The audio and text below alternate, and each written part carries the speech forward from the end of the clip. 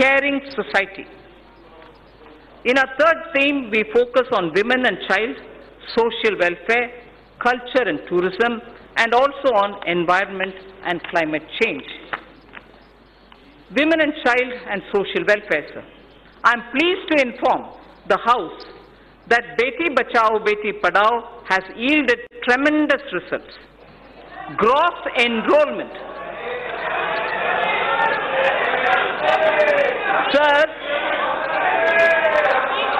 sir, if you hear the data, if you hear the data, I think it's important not to politicize issues related to women.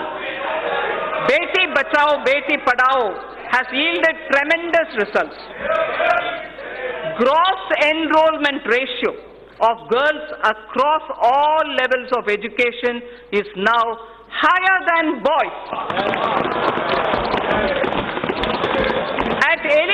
At elementary level, at elementary level, it is 94.32% as against 89.28 for boys.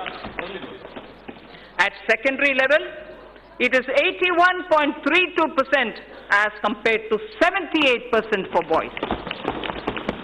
At higher secondary level, girls have achieved a level of 59.70 compared to only 57.54 percentage for boys.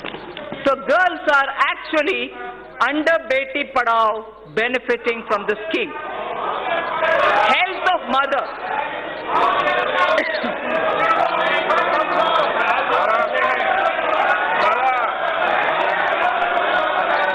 Sir, health of mother and child are correlated closely. Nutrition is a critical component of health.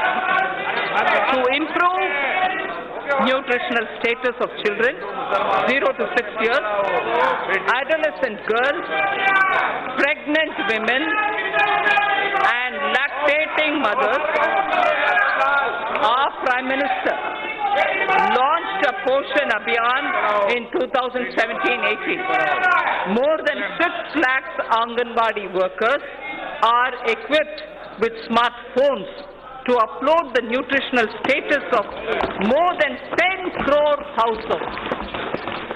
Sir, Honorable Speaker, sir, for the benefit of those who may not have heard this line, because it's very important, I'd like to repeat it. To improve the national nutritional status of children, children in 0 to 6 years of age, adolescent girls, pregnant women and lactating mothers, our Prime Minister launched a Poshan Abhiyan in 2017-18. More than 6 lakh Anganwadi workers are equipped with smartphones to upload the nutritional status of more than 10 crore households. The scale of this development is unprecedented. So the next is women's age of marriage was increased from 15 years to 18 years in 1978 by amending erstwhile Sharda Act of 1929. As India progresses further, opportunities open up for women to pursue higher education and careers. There are imperatives of lowering MMR, maternal mortality rate, as well as improvement of nutrition levels. Entire issue of ab- about age of girl entering motherhood needs also to be seen in this light. I propose to appoint a task force that will present its recommendations in six months' time.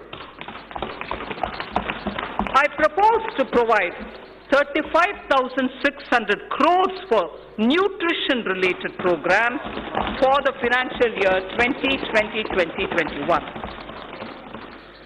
So in continuing with our government's commitment to welfare of women, this budget provides for about 28,600 crore for programs that are specific to women.